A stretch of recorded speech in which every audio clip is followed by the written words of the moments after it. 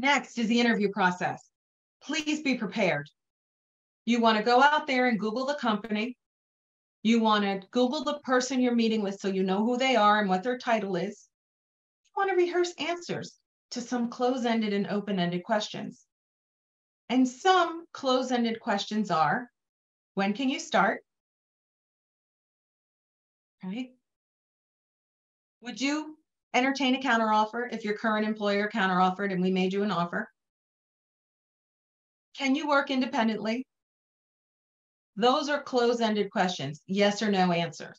Open-ended questions, which many employers are asking these days, are behavioral interview questions. And what that means is they're asking questions that make you tell a story about how you have handled a situation in the past. The research behind this is that the way you've reacted in the past is a predictor of future behavior, but there's argument out there that people change. So some of those questions are tell me about a time when you didn't agree with how a supervisor handled a situation. Tell me about a time when you had competing deadlines and how you met them. Tell me about a time when you didn't agree with how a teammate was handling something.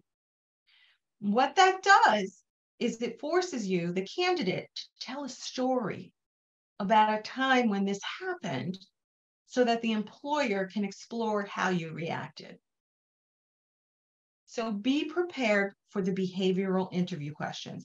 And some more technical positions are doing, you know, they'll do skills based tests. Um, most of the time, they will tell you ahead of time. But if they don't, don't be surprised. But finally, what I want to tell you about the interview process is prepare questions of your own. You're interviewing them too. Why is the position open? You want to know. What are the characteristics in an ideal candidate? Why did you come here? What keeps you here? When do you want to have the position filled? Are there other applicants? What are the next steps? And when can I expect to hear from you?